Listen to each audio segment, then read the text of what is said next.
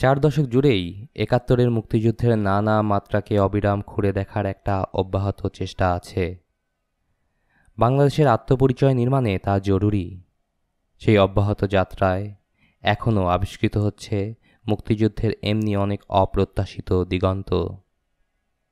এবছর আমি নিজে মুক্তিযুদ্ধ বিষয়ক এমন দুটো অজানা তথ্য পেয়ে চমৎকৃত হয়েছি। আমার ধারণা যে এ তথ্য আমার মতোই আরও বহু জনের কাছেও অজানা। দুটোই দেশের বাইরে ভিন্ন ধারার মুক্তিযুদ্ধের উদ্যোগের চমৎকার উদাহরণ। দুটোই ঘটেছে আমেরিকার মাটিতে। যে দেশের সরকার ছিল আমাদের মুক্তিযুদ্ধের বিপক্ষে। প্রথম উদ্যোগটি সে সময় আমেরিকা প্রবাসী প্রখ্যাত সেতারবাদক পণ্ডিত রবিশঙ্করের।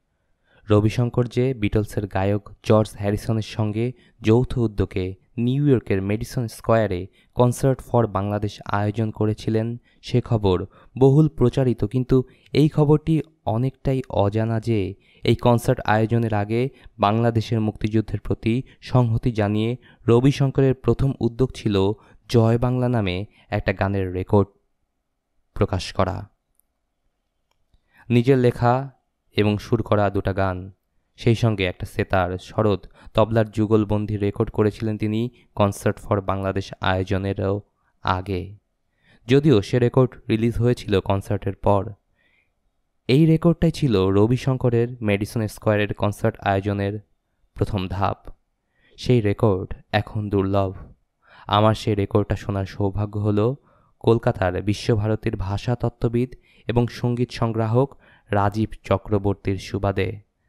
রাজীব চক্রবর্তীর বাড়িতে তিনি যখন আমাকে এ দুর্লভ রেকর্ডটা শোনালেন, তখন সেই অচেনা মুক্তিযুদ্ধের মুখোমুখি হয়ে রোম হর্ষ হল।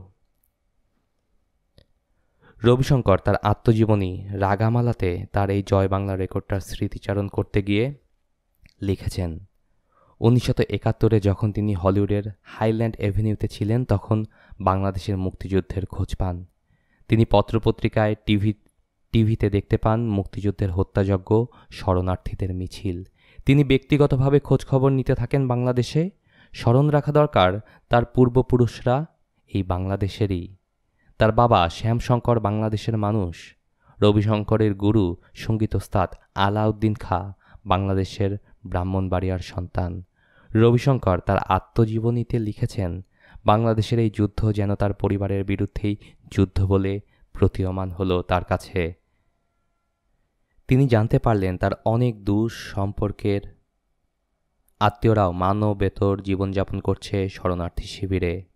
তার মনে হলো, এই মুহূর্তে কিছু একটা করা দরকার। তিনি আবেগ তাড়িত হয়ে একটা গানের অ্যালবাম করার সিদ্ধান্ত নিলেন। রবিশঙ্কর লিখছেন, তিনি জানেন এ কাজ সমুদ্রে এক ফোঁটা জলের মতো, তবু তিনি তা করতে উদ্বুদ্ধ হলেন। লিখেছেন তার মূল অনুপ্রেরণা ছিল ভাষা। বাংলা তার নিজের ভাষা। বাঙালিদের বাঙালিদের অপমান, তাই তার নিজের অপমানই মনে করেছেন তিনি। তিনি বাংলাতেই একটা গানের অ্যালবাম করলেন। একটা ঘোরের ভেতর লিখে ফেললেন দুটা বাংলা গান, সুর দিলেন তাতে। আমাদের স্মরণে থাকবে যে রবিশঙ্কর সত্যজিৎ রায়ের বিখ্যাত চলচ্চিত্র পথের পাঁচালীর সংগীত রচয়িতা অধনা দুর্লভ রেকর্ড প্লেয়ারে ততোধিক দুর্লভ রবি শঙ্করের কথা সুরে সেই গান শুনি। সেই গানের অভূতপূর্ব আবেগ আমাকে দখল করে রাখে। হো, ও ভগবান খোদতালা মোদের ছেড়ে কোথায় গেলা? কত মূল্য, কেই বা গনে? মোদের কান্না কেই বা শোনে? আর কত বলো, শৈব ঠেলা, ও ভগবান খোদতলা মোদের ফেলে কোথায় গেলা? এই গানের সুরে এক আশ্চর্য কান্না জড়িয়ে আছে যেন খোদা জানে কেমন সে সুর ছিল। কীভাবে সেই সুর আমি শুনতে পারব আমরা জানি না। বুক পিকার্সের অডিয়েন্সরাও হয়তো জানেন না, জেনে থাকলে জানাবেন। এই গানের সুরে এক আশ্চর্য কান্না জড়িয়ে আছে যেন বোঝা যায় খুব ভেতরের তন্ত্রী থেকে ছিঁড়ে আসা এই সুর। আরও লক্ষ্য করি একাধারে খোদা এবং ভগবানকে স্মরণ করার অসাম্প্রদায়িক মাত্রাটিকে। লক্ষ্য করি গেলা, ঠেলা ইত্যাদি পূর্ববঙ্গীয় লোকশব্দ ব্যবহারের চেষ্টাটিকে। এই বাংলাদেশের মাটি ভাষার প্রতি গভীর মায়া যেন চুইয়ে পড়ে গানটির প্রতিটা লাইনে। আরও অবাক হই যখন জানতে পারি, গানটি গেয়েছেন রবিশঙ্কর এবং অন্নপূর্ণা দেবীর একমাত্র সন্তান শুভেন্দু শঙ্কর। বোঝা যায়, বিদেশে বড় হওয়া শুভেন্দুর বাংলা ভাষা বিশেষ আয়ত্তে নেই। বাংলা উচ্চারণ করতে হয়েছে। বেশ কষ্ট করেই কিন্তু কণ্ঠে অপরিসীম মায়া এনে তিনি পুষিয়ে দিয়েছেন সেই সীমাবদ্ধতা। রবিশঙ্করের সন্তানের গলায় সম্ভবত এটি একমাত্র রেকর্ডকৃত গান। এই রেকর্ডের অন্য গানটি কোরাস। এই গানে আরও কণ্ঠ দিয়েছেন প্রখ্যাত তবলাবাদক শঙ্কর ঘোষের স্ত্রী সংযুক্তা ঘোষ। সে গানের বাণী, জয় বাংলা জয় বাংলা, জয় জয়। আমরা গাহি বাংলাদেশের জয়গান, গাহি বাংলাদেশের গান। জাত, ধর্ম, ভেদ ভুলে গাইছে সবাই পরাণ খুলে প্রেমের ঐক্যতান। আমরা গাহি বাংলাদেশের জয়গান।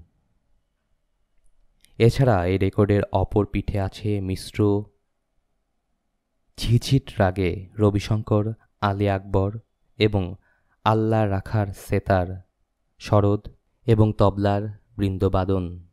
রবিশঙ্কর বলেছেন, এই বৃন্দবাদনের অনুপ্রেরণাতেও আছে বাংলা লোকসঙ্গীত। রেকর্ডটি প্রকাশ করেছিল আমেরিকার অ্যাপল রেকর্ড এবং তার অর্থ জুগিয়েছিলেন জর্জ হ্যারিসন। এই রেকর্ডের সূত্র ধরেই পরে রবিশঙ্কর এবং জর্জ হ্যারিসন বাংলাদেশের সাহায্যার্থে আরও বড় আকারে কনসার্ট ফর বাংলাদেশ আয়োজনের সিদ্ধান্ত নেন। এই অসাধারণ রেকর্ডটি শোনানো এবং এ বিষয়ক তথ্য সরবরাহ করার জন্য ধন্যবাদ জানাই রাজীব চক্রবর্তীকে। দ্বিতীয় উদ্যোগটিও আমেরিকায়। ফিলাফেলদিয়ার কিছু স্থানীয় মানুষ মিলে একাত্তরে এক ব্যতিক্রমী যুদ্ধে অবতীর্ণ হয়েছিলেন পাকিস্তানি শাসকদের বিরুদ্ধে।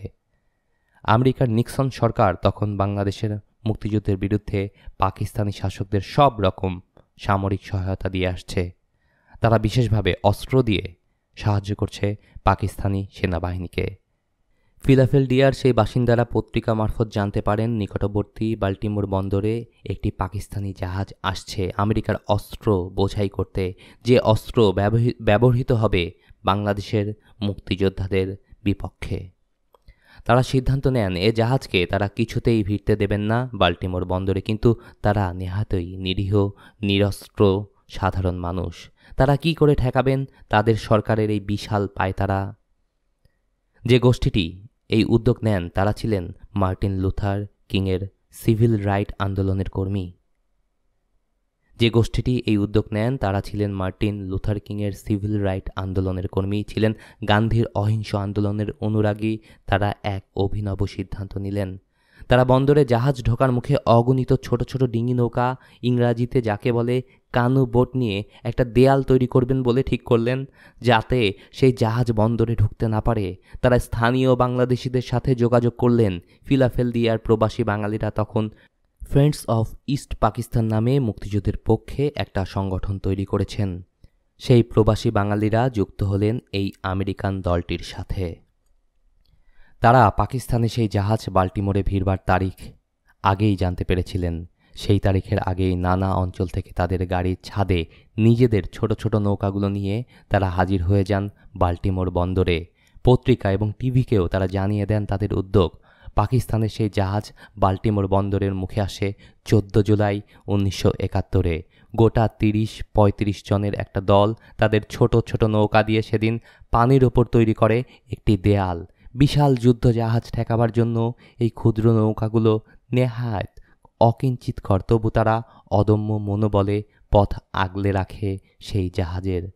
পুলিশ তাদের মাইক দিয়ে সরে যেতে বলে বলে, না সরলে জাহাজ তাদের ওপর দিয়েই চালিয়ে দেওয়া হবে।